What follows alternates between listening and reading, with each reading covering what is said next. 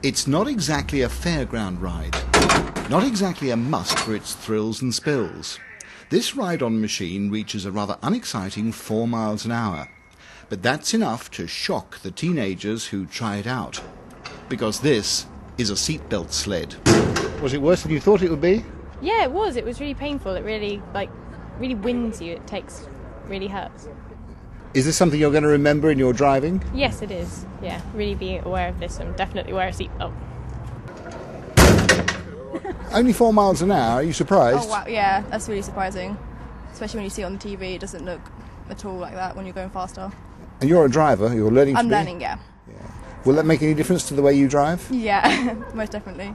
This device is a portable wake up call to show the impact of not wearing a seatbelt while driving. An impact which, even at 4 miles an hour, is startling. We use the seatbelt sled uh, when we do events, initiatives. Um, it's a way of being able to educate young people and older people um, just about the importance of wearing a seatbelt, as you'll see in the film.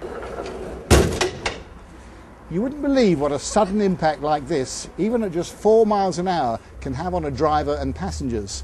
Now imagine multiplying that seven times up to 28 miles an hour, and I think you're beginning to get the picture. A man was coming down a road, a slippery road, um, with a couple of bends in, and unfortunately, due to a bit of speed, he did lose control on the bends and did go straight into a tree that was on the side of the road. Um, he didn't or wasn't wearing a seatbelt.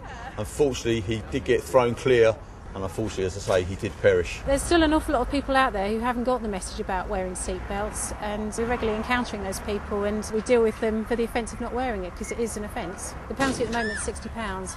If the accident's not your fault and you've sustained the injuries, it, it, it doesn't really it doesn't really matter. You still got injuries, and you- you can't claim compensation for the injuries you've received for not wearing your seatbelt. Why the goggles? Well, wearing them helps to simulate what a driver influenced by drink or drugs actually sees. And they show just how little you can really do when you're impaired.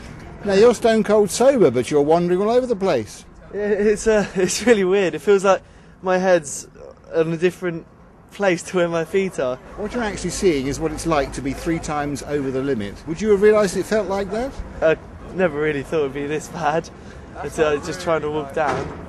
It's going to be really hard doing anything if you're this drunk at all.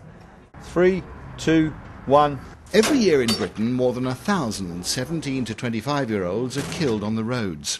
That's the equivalent of three jumbo jets, and over three times as many are left with serious injuries as the result of a road accident. Taking the seatbelt sled round the schools and colleges of West Sussex is proving a highly effective way to reach those who simply don't believe the facts. So, for anyone who thinks seatbelts don't matter at slow speeds, one taste of the sled will bring you up with a jolt.